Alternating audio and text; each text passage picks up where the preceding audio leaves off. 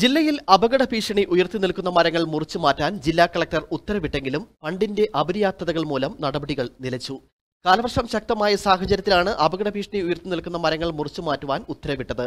എന്നാൽ വനം വകുപ്പിനോ തദ്ദേശ സ്വയംഭരണ സ്ഥാപനങ്ങൾക്കോ ട്രീ കമ്മിറ്റികൾക്കോ ഫണ്ടില്ലാത്തതുമൂലം അപകട ഭീഷണിയായ മരങ്ങൾ മുറിച്ചു മാറ്റുവാൻ കഴിയുന്നില്ല. കാലവർഷം ശക്തമാകുന്നതോടെ ജില്ലയിൽ മരം ഒടിഞ്ഞു വീണുള്ള അപകടങ്ങൾ തുടർക്കഥയാണ്. കഴിഞ്ഞ അഞ്ചു വർഷത്തിനുള്ളിൽ ഇരുപത്തി എട്ട് പേരാണ് മരം വീണ് മരിച്ചത്.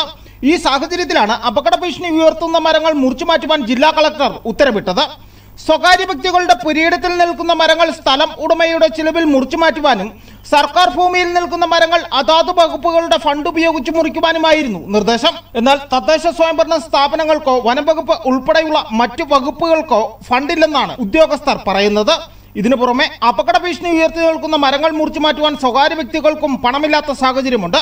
ഇതിനുദാഹരണമാണ് തൂക്കുപാലത്തെ കോയിക്കാപ്പാറയിൽ സലീന ബീവിയുടെ വീടിന് മുകളിലേക്ക് എപ്പോൾ വേണമെങ്കിലും നിലംപതിക്കാമെന്ന തരത്തിൽ അയൽവാസിയുടെ പറമ്പിൽ നിൽക്കുന്ന ഈട്ടിമരം മരം മുറിച്ചു മാറ്റുവാൻ വനംവകുപ്പ് അനുമതി നൽകിയെങ്കിലും സലീനയുടെ കയ്യിലോ സമീപവാസിയുടെ കയ്യിലോ പണമില്ല. ചുവട്ടിലെ മണ്ണ് ഒലിച്ചുപോയി. മരം എപ്പോൾ വേണമെങ്കിലും വീടിന് മുകളിലേക്ക് വീഴാവുന്ന അവസ്ഥയിലാണ്. ഞങ്ങൾ രണ്ടു വർഷമായിട്ടും പഞ്ചായത്തും ഫോറസ്റ്റ് ഓഫീസിലും കയറി ഇറങ്ങി നടക്കുവാണ്. അതിനൊരു പരിഹാരവും കാണുന്നില്ല. ലാസ്റ്റ് ഫോറസ്റ്റ് ലാസ്റ്റ് ഫോറസ്റ്റ് ഓഫീസിൽ ചെന്ന് പരാതി കൊടുത്തപ്പോൾ അവർ പറഞ്ഞ് വെട്ടിക്കൊള്ളാൻ അനുമതി തന്നിട്ടുണ്ട്. അത് പക്ഷേ നമ്മുടെ സ്വന്തം ചെലവിൽ വെട്ടി അവിടെ കൊണ്ട് എത്തിക്കണമെന്നാണ് അവർ പറയുന്നത്. അപ്പം ഞാൻ കൂലിപ്പണിക്ക് പോകുന്നതാണ് ഞാൻ അപ്പം ഞങ്ങൾക്ക് അതിനുള്ള സാമ്പത്തിക ബുദ്ധിമുട്ടായതുകൊണ്ട് ഞങ്ങൾ പിന്നെയും മന്ത്രിയുടെ അദാലത്തിൽ കൊണ്ടുവന്ന് പരാതി കൊടുത്തു. അതിനും നമ്മൾ പരിഗണിച്ചിട്ടില്ല. ഇനിയിപ്പോൾ കാലവർഷം വരുവാണ്. അതിന്റെ മണ്ണ് അടിഭാഗത്തുള്ള മണ്ണ് മൊത്തം ഇടിഞ്ഞ് വേര് തെളിഞ്ഞ് നിൽക്കുകയാണ്. ഇത് ഏത്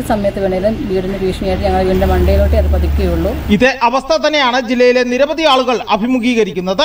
ഈട്ടി തേക്ക് പോലെയുള്ള സംരക്ഷിത മരങ്ങളായതിനാൽ മുറിച്ചു മാറ്റിയ ശേഷം തടി അതാത് ഡിവിഷണൽ ഫോറസ്റ്റ് ഓഫീസുകളിൽ എത്തിക്കണം. ഇവയ്ക്കെല്ലാം വൻതുക ചെലവാകും.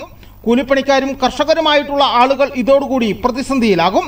കാലവർഷം ശക്തി പ്രാപിക്കുന്നതോടെ ജീവനും മുറുക്കപ്പിടിച്ച് ദിനരാത്രങ്ങൾ തള്ളി നീക്കുവാനാണ് ഇവരുടെ വിധി. ഗവൺമെന്റ് അടിയന്തരമായി വിഷയത്തിൽ ഇടപെടണമെന്നാണ് നാട്ടുകാരുടെ ആവശ്യം. News bureau കമ്പമെട്ട